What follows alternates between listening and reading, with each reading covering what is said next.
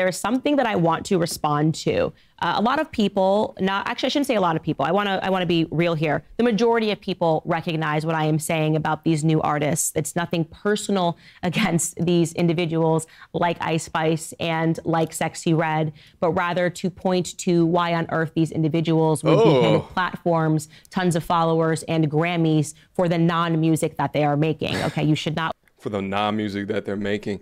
What's crazy, like take a look at her image right here. Just she looks disgusting. She looks like a bug. And the thing is, you know, when I say her, I'm talking about the image, the image that she portrays out to everyone else, as if to influence everyone else that this is what you should look like. This is how you should portray yourself. What I find so interesting about these discussions, when you put a magnifying glass on certain components of black culture, you'll often get black women that will say something to the effect of, "Look at you talking about us always. This is why we are the least protected." But the very thought and or energy that you put behind supporting images like this of yourself is absolutely insane. The music within the culture is extremely influential. And if these are your queens, then you can have them.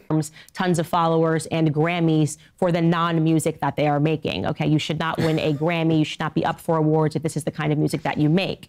Some Right. people wrote to me in the comments and said, Sexyy Red supports Donald Trump, Candace. So look who you are distancing yourself from. This is a person who cares? likes Donald Trump. You should be platforming this. And apparently I went and I dug up, and it is true that Sexyy Red was a Trump supporter, or is a Trump supporter rather. Okay. This is her speaking on a podcast this past weekend with Theo Von from four months ago. Take a listen. Do you think more people are going to support Trump now in the I hood like or Trump. no? Yeah, they support him in the hood. Cause at first I don't think people was with him like they thought he was racist, saying little Then they got them and, checks. you know against women.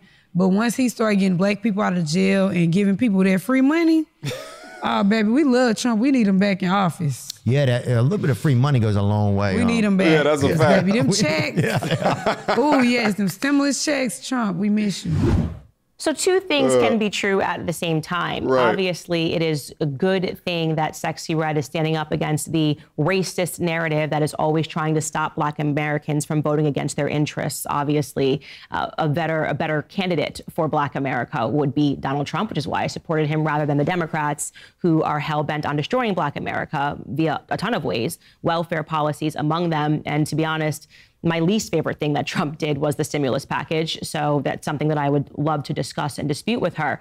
But hmm. also, why. Sexyy Red and the music that she distributes is harmful to Black America. What Very she true. represents is harmful to Black America. Very true. I am not going to say that because you vote like me, I am going to support the music that you are putting upon the youth in Black Yeah. America. Can Sexyy Red change her mind? Can she become somebody else? I hope. This is what has always been my hope for Cardi B, right? That they actually recognize that they are being used to peddle filth to the black community like drug dealers. it's not about recognizing it. They recognize it, but they're willing to sell their soul to Satan for the bag, for the dollar. And in case you don't recognize just how severe what I am talking about is, this is what has been making the rounds in the media over the last couple of days. Sexyy Red just had a baby. She literally just gave birth. And she decided to share some photos from her in the hospital and make some fun music while she was giving birth. Take a look at some of these photos. Yes, that is Sexyy Red, bent over, uh, touching herself. Yes, obviously, we have censored this photo of her with her legs spread in just a really disturbing manner. There's no other way to say it. This is this is actually disturbing. It should disturb you. There's something funny about this. This is crass. This is debased. This is no way a mother should act at all. But of course, this makes its rounds in the media. And what is the response to a young black person that is seeing that this person is getting attention? What is the response to any young individual if they recognize that okay, I can become famous and I can get quick money and my music will be By being the distributed if I'm if I have no shame. So I actually went to her Instagram to take a look at the reception that this collage of photos is receiving. It's got over 1 million likes. What's interesting though is some of the top comments. Black women, y'all should be ashamed for glorifying the things that destroy our society. This is so embarrassing. You a grown woman, be serious for once. So sad to see. And shorties praise this shit. Hate everything about her. Obviously, the likes on these comments not getting as much likes as the likes on this actual photo, and also probably because of my algorithm, I'm seeing those type of comments before any of her support comments. Love or hate Candace Owens, the fact of the matter is she's absolutely right here. What does this signal to those that look at this type of content, irrespective of the comments that go against the type of behavior consolidated within black women culture. Because whether you like it or not, the youth will be influenced by the type of content that comes from her. Whether or not they listen to it themselves or they hear it from another classmate.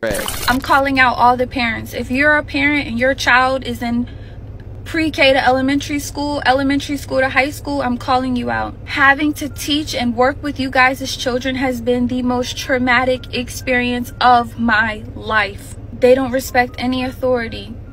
You ask them, can you stand in your designated spot? They're telling you no and shut up. You say, can everybody sit in their spot?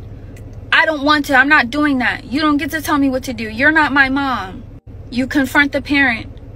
The parent tries to argue with you and fuss at you because you tried to reprimand and redirect their kid. And another thing that's heart wrenching is horrifying it is horrifying. Your five year old daughters are asking to listen to Pound Town and SkeeYee. Your daughters, your five year old daughters are asking, Can we hear Pound Town? I'm playing them Princess Tiana ballet music. And they are asking me, Can we hear Pound?